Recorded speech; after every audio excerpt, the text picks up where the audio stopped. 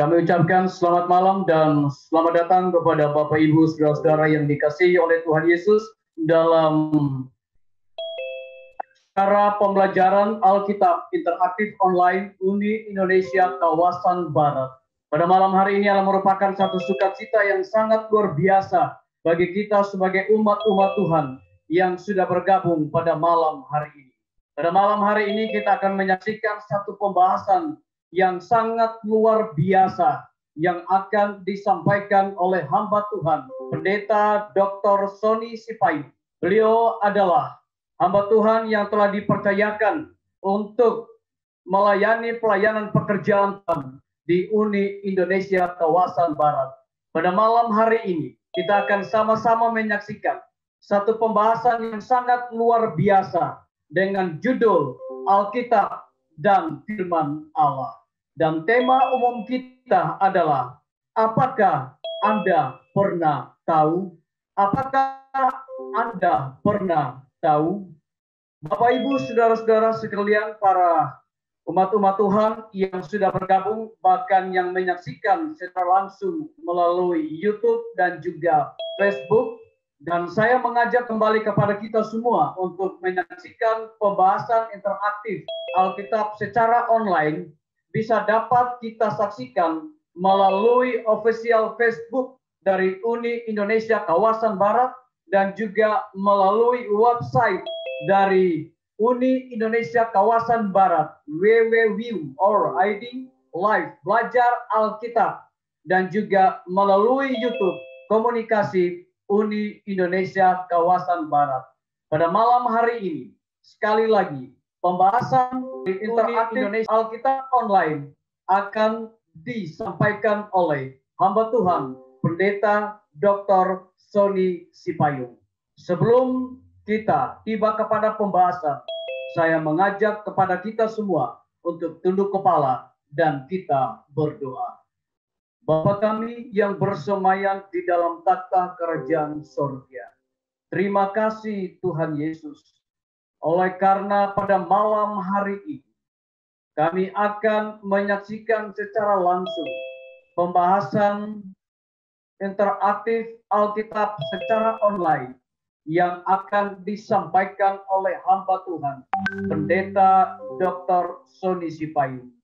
Kiranya urapan roh kudusmu akan menyertai akan hambamu di dalam berkata-kata, Biarlah setiap kebenaran firman Tuhan yang berdasarkan Alkitab pada malam hari ini dapat kami mengerti dan kami memahaminya. Berkati semua para partisipan yang sudah bergabung di malam hari ini.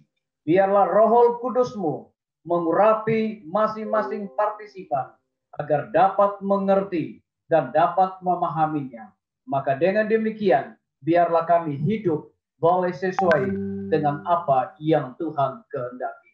Terima kasih Tuhan Yesus. Kami mau menyerahkan acara pembahasan interaktif Alkitab secara online ke dalam tangan kasih-Mu, ya Bapa. Dengarlah doa kami Tuhan dan mau mengampuni segala dosa kami karena kami sudah berdoa hanya di dalam nama Tuhan Yesus dan Juru Selamat kami. Amin. Terima kasih untuk kehadiran kita semua. Saya lihat ada mulai dari uh, Kupang. Oh, luar biasa sekali ya. Dan juga di Kalimantan. Dan juga tempat-tempat yang lain di seluruh uh, Pulau Jawa. Kita berterima kasih kepada uh, pimpinan kita dari gereja masih Advent hari ketujuh yang membuat program ini satu program program belajar bersama. Untuk itu saya mau coba mengajak kita untuk angkat Alkitabnya masing-masing. Nah, boleh kita angkat kita punya Alkitab masing-masing. Tunjukkan Alkitab kita. Sebab kita uh, berkumpul di acara ini adalah untuk sama-sama mempelajari akan uh, firman Tuhan.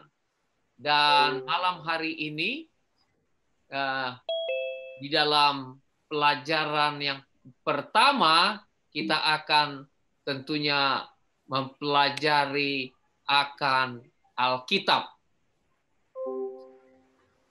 Manusia memerlukan penuntun.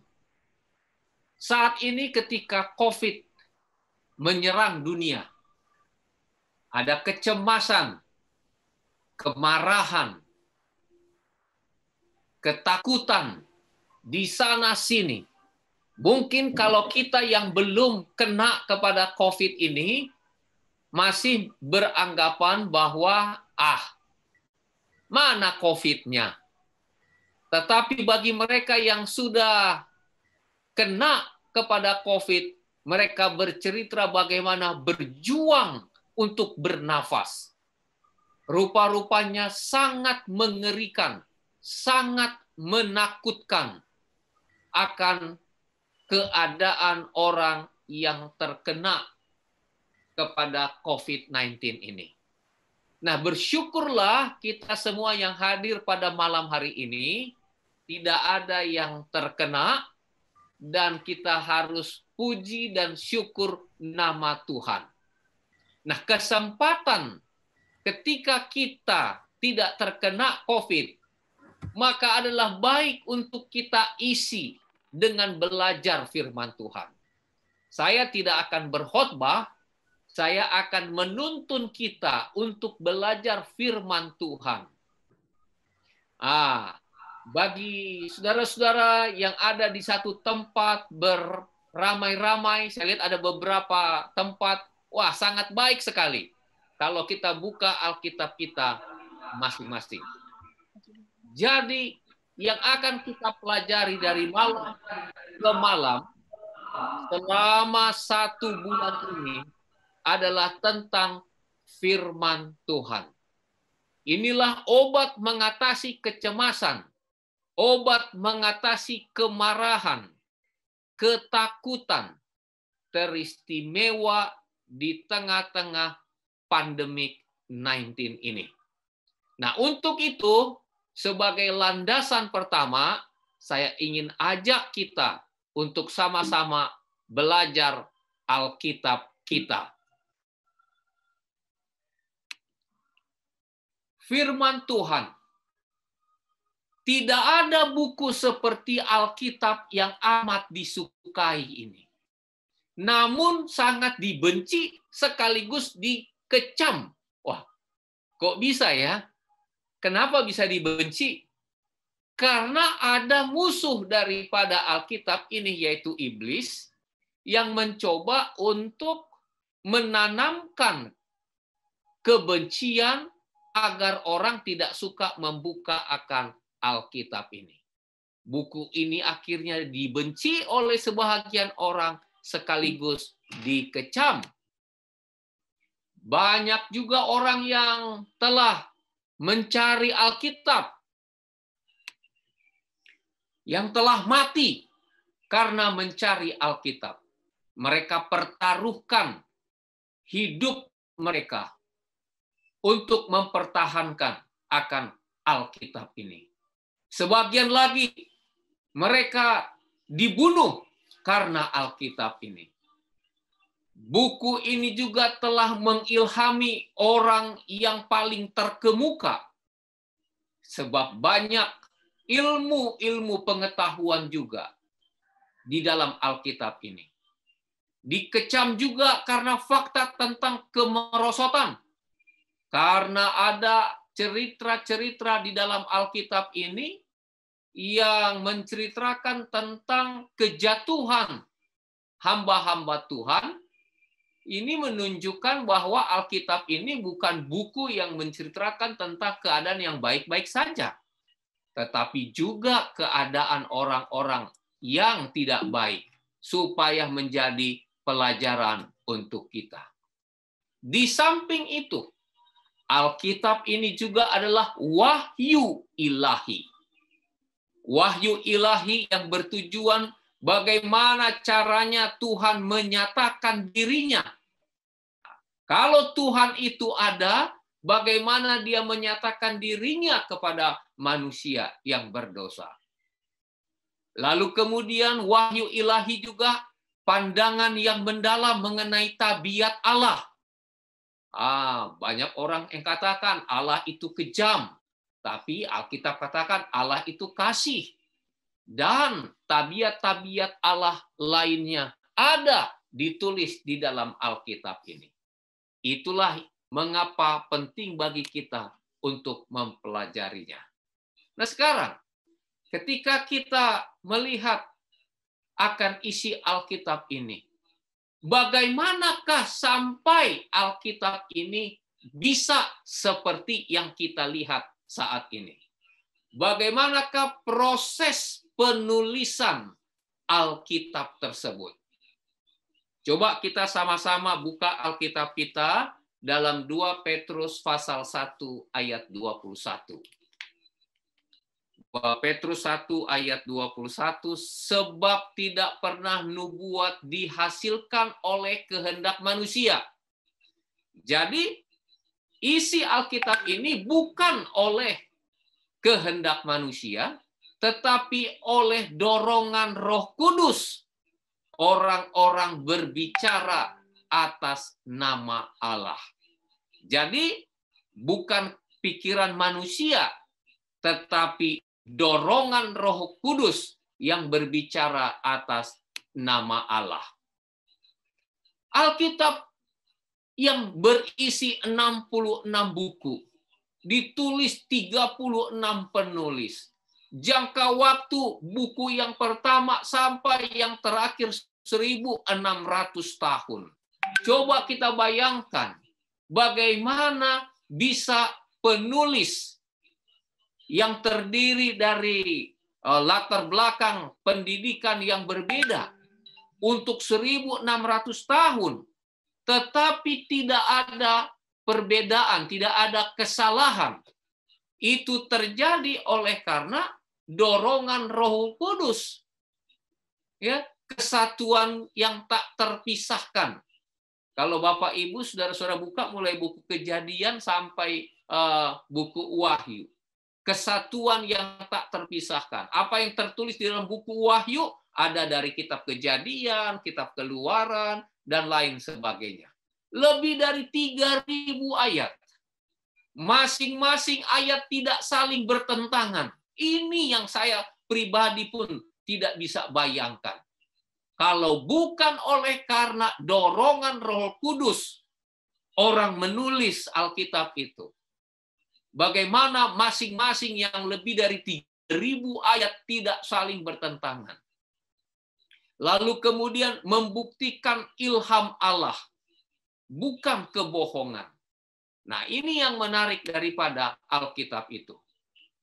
Kemudian, dalam 2 Timotius 3 ayat 16, dituliskan segala tulisan yang diilhamkan Allah bermanfaat untuk mengajar, menyatakan kesalahan, memperbaiki kelakuan, mendidik orang dalam kebenaran.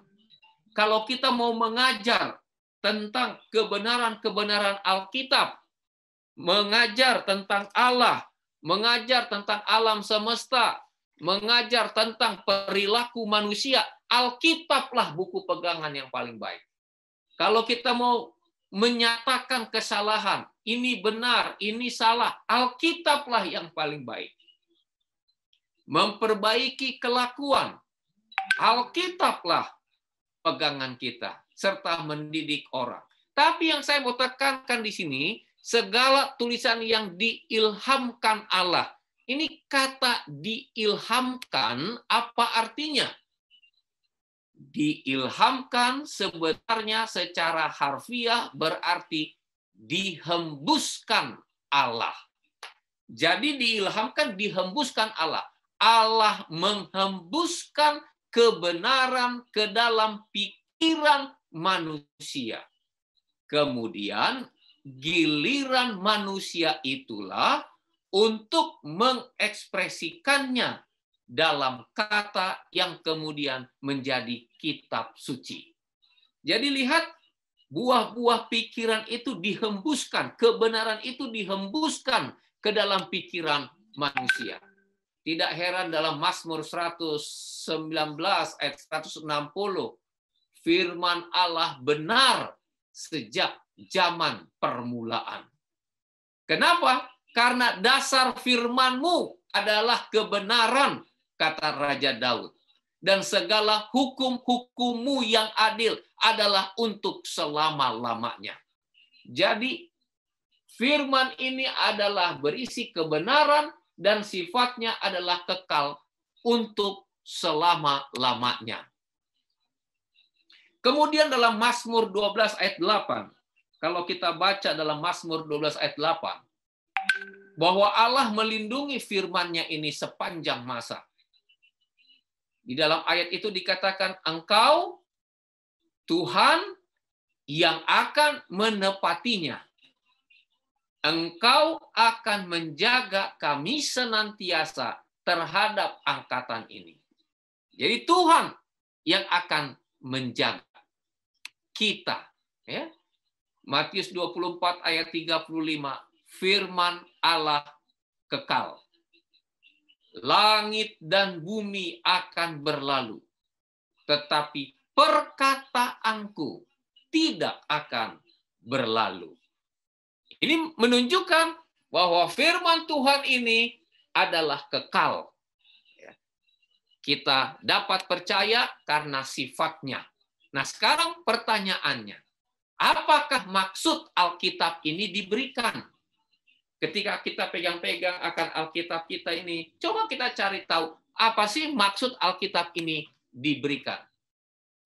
Roma pasal 15 ayat yang per, yang keempat, yang pertama, ini memberikan pengharapan.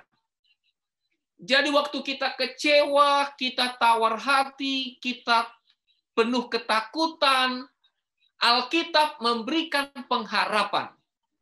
Roma 15 ayat 4, sebab segala sesuatu yang ditulis dahulu telah ditulis untuk menjadi pelajaran bagi kita supaya kita teguh berpegang pada pengharapan oleh ketekunan dan penghiburan dari kitab suci. Jadi lihat itu supaya kita terteguh kita teguh berpegang pada pengharapan oleh ketekunan dan penghiburan dari kitab suci. Jadi waktu kita tawar hati, waktu kita kecewa, ada banyak cerita-cerita di dalam Alkitab orang yang mengalami hal yang sama. Lalu kemudian bagaimana dia keluar dari kekecewaan itu? Bagaimana dia berharap untuk keluar dari ketakutan, dari kekecewaan? Alkitab suci ini memberikan kepada kita jawabannya. Lalu yang kedua, mengapa ini diberikan? 2 Timotius 3 ayat 15. Ini yang paling menakjubkan. Alkitab menuntun kepada keselamatan ya, Rasul Paulus katakan, ingatlah juga bahwa dari kecil engkau sudah mengenal kitab suci yang dapat memberi hikmat kepadamu dan menuntun engkau kepada keselamatan oleh iman kepada Kristus Yesus. Kalau Bapak, Ibu, Saudara-saudara mau tiba di dalam kerajaan sorga, mau masuk di dalam kerajaan sorga, kita baca baik-baik akan firman Tuhan. Inilah buku yang menuntun kepada keselamatan oleh iman kepada Kristus Yesus. Tidak ada buku yang lain. Kita harus punya ini. Karena inilah yang menuntun Bapak Ibu saya, kita semuanya kepada Kristus Yesus. Yang ketiga, kenapa Alkitab ini diberikan? Alkitab menyatakan Yesus sebagai juru selamat. Oh, banyak orang yang membahas tentang Yesus. Ada yang bilang Yesus itu bukan Allah. Ada yang mengecilkan Yesus Kristus dan lain sebagainya. Tetapi Alkitab ini menyatakan Yesus sebagai juru selamat. Dialah penebus kita, dialah Tuhan yang menebus kita dalam Yohanes 5 ayat 24, aku berkata kepadamu, Sesungguhnya barang siapa mendengar perkataanku, perkataan siapa? Perkataan Yesus. Dan percaya kepada dia yang mengutus aku. Siapa dia? Allah Bapa. Yang mengutus siapa? Mengutus Yesus. Ia mempunyai hidup yang kekal dan tidak turut dihukum. Sebab ia sudah pindah dari maut ke dalam hidup. Jadi kalau kita terima Yesus sebagai juru selamat, kita pindah dari maut kepada hidup. Kita akan punya hidup yang kekal. Caranya Yohanes 5 ayat 24 kita harus mendengar perkataanku. Perkataan siapa? Yesus. Percaya kepada Dia yang mengutus aku, kepada Allah Bapa. Dia mempunyai hidup yang kekal buku ini menyampaikan, memberitahukan bahwa kita sudah hilang. Jauh dari Allah. Serta menyatakan Yesus satu-satunya yang mencari dan membawa kita kembali kepada Allah. Sangat jelas Bapak Ibu. Dalam Alkitab ini, dalam firman Tuhan ini, diceritakan bahwa Yesuslah satu-satunya yang mencari dan membawa kita kembali kepada Allah. Kita orang yang berdosa. Harusnya kita yang cari Tuhan.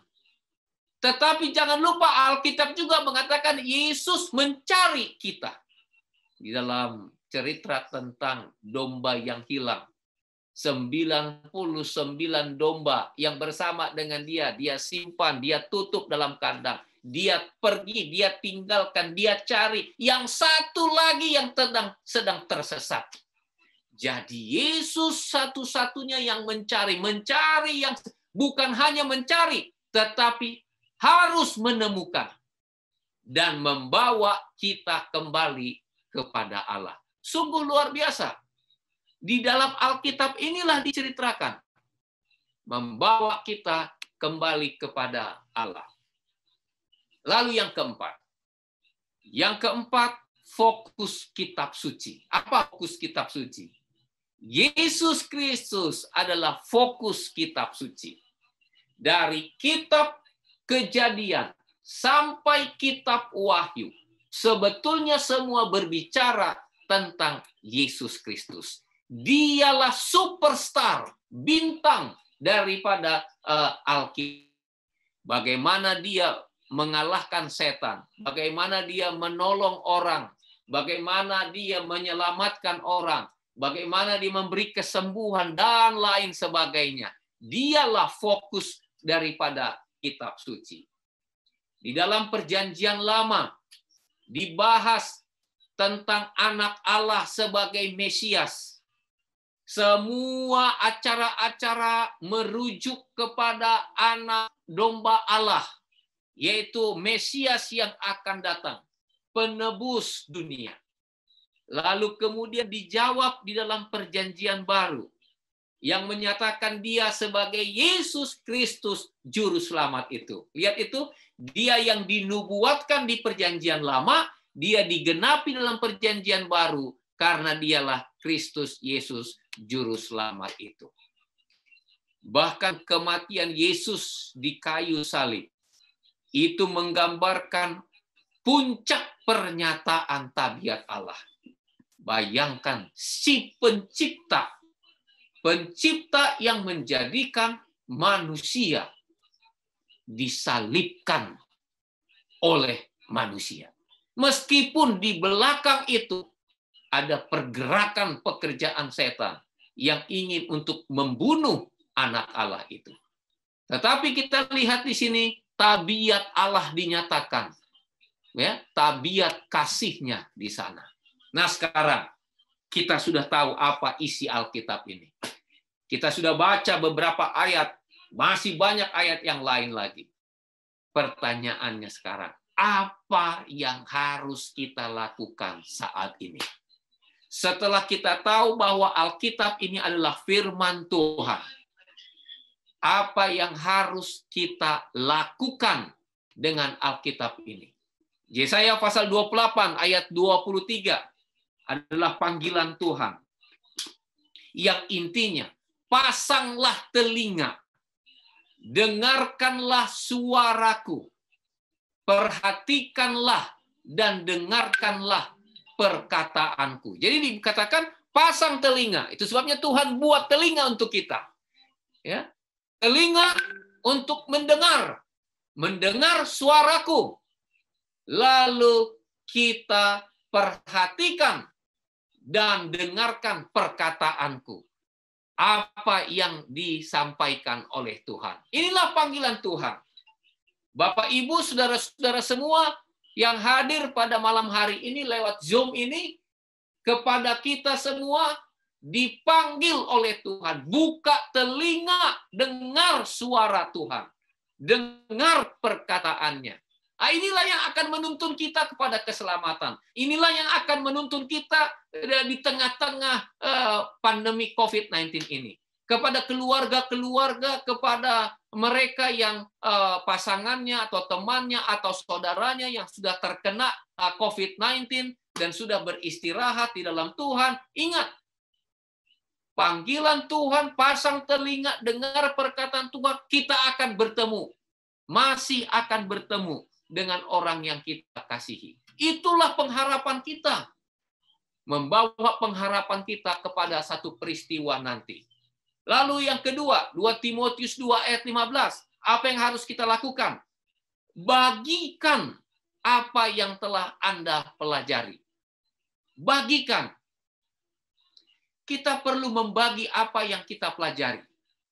Dalam 2 Timotius 2:15 Paulus katakan kepada Timotius begini, Usahakanlah supaya engkau layak di hadapan Allah sebagai seorang pekerja yang tidak usah malu, yang berterus terang memberitakan perkataan kebenaran itu. Kita punya tugas. Tugas kita hanya memberitahukan perkataan kebenaran. Kita hanya memberitahukan tentang Alkitab ini. Ini saja yang kita harus beritakan. Ini kabar baik cerita tentang keselamatan oleh Yesus Kristus. Kenapa kita harus tahan-tahan kepada setiap orang, kepada tetangga kita, kepada teman kita? Kita kasih tahu supaya mereka juga dapat keselamatan. Sebab ini adalah perkataan kebenaran. Kita harus memberitakan perkataan kebenaran.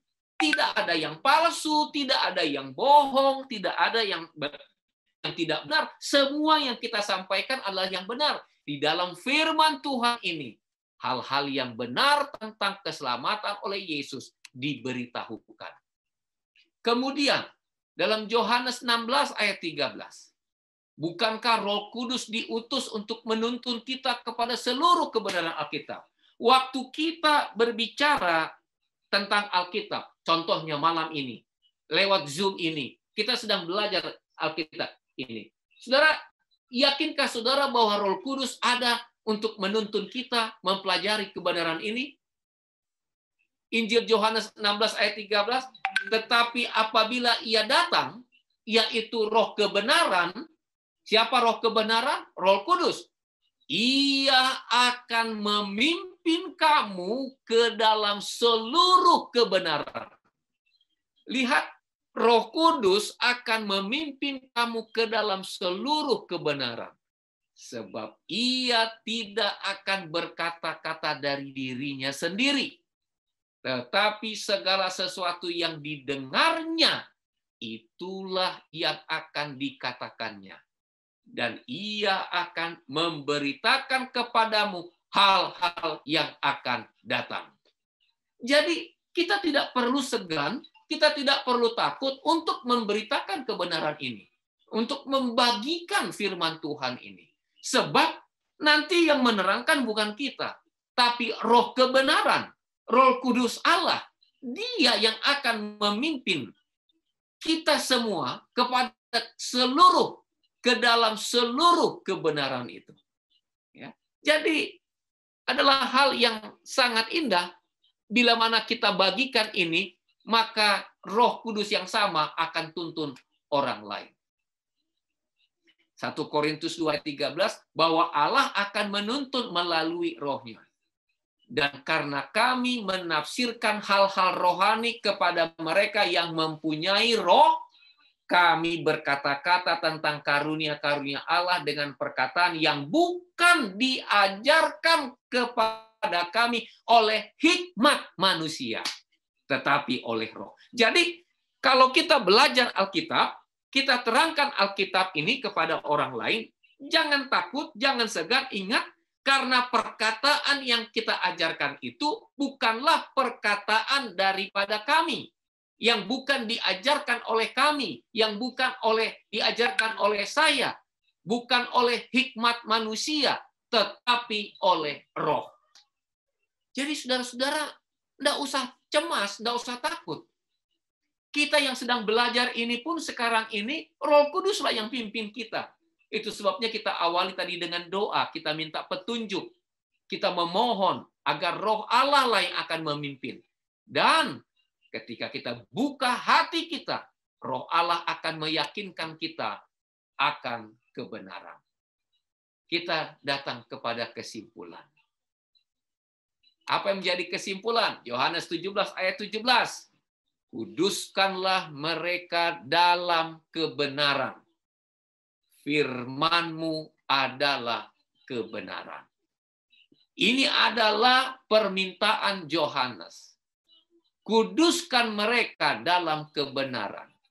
Ini juga adalah permintaan Yesus kepada Bapaknya. Kuduskan mereka dalam kebenaran. Karena firman Tuhan adalah kebenaran. Kita tidak punya kebenaran. Hidup kita penuh kepalsuan, kemunafikan. Tetapi ketika kita belajar firman Tuhan, maka kita akan dituntun oleh Tuhan karena firman-Nya itu adalah kebenaran. Waktu kita buka firman Tuhan, ini berisi kebenaran. Kebenaran itulah yang akan menguduskan kita sekalian. Maka dalam Yohanes pasal 7 ayat yang ke-17, barang siapa mau melakukan kehendaknya, kehendak siapa? Kehendak Tuhan Yesus. Kehendak Allah ia akan tahu entah ajaranku ini berasal dari Allah, entah aku berkata-kata dari diriku sendiri. Jadi lihat, ini bukan ajaran manusia, tetapi ajaran daripada Tuhan Yesus. Nah, saudara-saudara sekalian, biarlah kita jadikan Alkitab ini menjadi pegangan hidup kita biarlah kita mengandalkan Alkitab ini dalam kehidupan kita. Biarlah kita selalu menyelidiki akan Alkitab ini, supaya dengan demikian kita temukan uh, kebenaran-kebenaran Allah yang akan menuntun kepada keselamatan. Dan jangan lupa, sepanjang satu bulan ini, kita akan belajar Alkitab ini. Mulai dari Alkitab itu sendiri malam ini yang kita sudah selidiki. Besok malam, besok malam, dan selanjutnya. Supaya dengan demikian kita akan semakin dekat. Dan tabiat Tuhan akan menjadi tabiat kita semua. Terima kasih. Selamat malam. Tuhan berkati. Mari kita tunduk kepala dan kita berdoa. Maha kasih, maha besar Tuhan Allah Bapa di sorga. Terima kasih pada malam hari ini kami dapat mengikuti uh, pelajaran tentang Alkitab.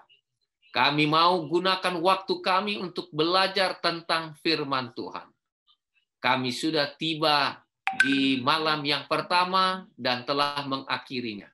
Biarlah kebenaran Tuhan yang ada di dalam Alkitab ini akan menolong kami untuk lebih paham akan firman Tuhan, sehingga hidup kami lebih dekat kepadamu. Apa saja yang dikatakan oleh Alkitab adalah kebenaran yang Tuhan berikan kepada kami. Bapa di sorga berkati semua saudara-saudara kami yang kekasih di mana pun mereka berada. biarlah mereka penuh sukacita dengan belajar Alkitab ini. Terpujilah namamu, ampuni segenap dosa kesalahan kami, pertemukan kami besok malam lagi. Dalam nama Tuhan Yesus kami berdoa. Amin. Terima kasih banyak kepada hamba Tuhan, Pendeta Dr. Sony Sipayung, yang sudah memberikan pembahasan yang sangat luar biasa pada malam hari ini. Sudah tentu melalui pembahasan yang disampaikan pada malam hari ini dengan judul Alkitab dan Firman Allah. Apabila para partisipan melalui aplikasi Zoom, YouTube, dan juga Facebook, apabila Anda mempunyai pertanyaan, bisa langsung di chatting secara langsung melalui aplikasi Zoom dan juga YouTube dan Facebook. Panitia akan memberikan jawaban atas pertanyaan yang ditanyakan oleh para partisipan yang sudah bergabung pada malam hari ini. Kembali kami mengajak semua para partisipan yang sudah hadir pada malam hari ini untuk bergabung kembali besok malam di aplikasi yang sama pukul 19 waktu Indonesia Barat, pukul 20 waktu Indonesia Tengah dengan satu judul yang tidak kalah menariknya yaitu Allah karakter Allah. Itulah pembahasan pada besok malam yang akan disampaikan oleh hamba Tuhan Pendeta Dr. Sony Sipayung. Kiranya Tuhan memberkati kita semua, lebih khusus Tuhan memberkati pembicara kita Pendeta Dr. Sony Sipayung Tuhan berikan kekuatan, kesehatan untuk terus memberikan pembahasan yang luar biasa mengenai Alkitab. Kiranya Tuhan memberkati kita semua. Selamat malam. Salome